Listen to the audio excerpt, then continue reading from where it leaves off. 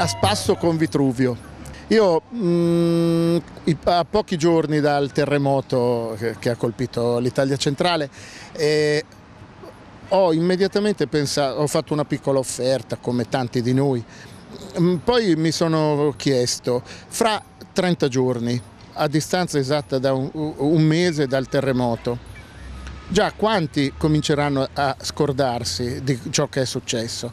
E allora ho detto tra, tra me, perché non usare questo, questa mia predisposizione per raccontare delle storie a distanza di 30 giorni dal terremoto raccontare un altro personaggio fanese, legato a, anzi proprio fanese, il più grande architetto di tutti i tempi, ovvero Marco Vitruvio Poglione.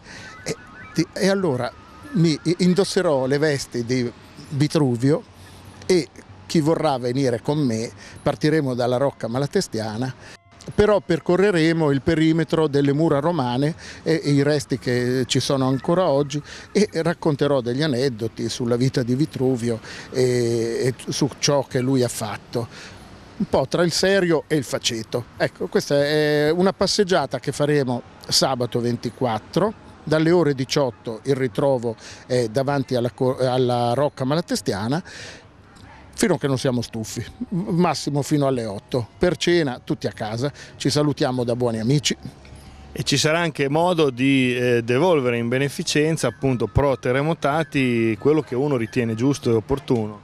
Sì, eh, i partecipanti, chi parteciperà a questa camminata, a questa passeggiata con me, eh, sono pregati di eh, elargire un'offerta, un'offerta per eh, le popolazioni terremotate.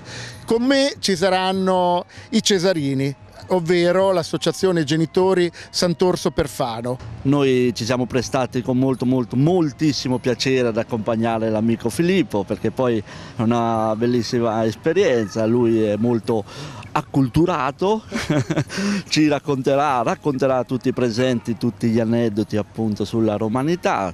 Sono curioso anch'io di saperli naturalmente, anche per me sarà una sorpresa e non vedo l'ora di ascoltarlo. Perciò ce l'ha chiesto e veramente saremo tutti in divise romane ad accompagnarlo.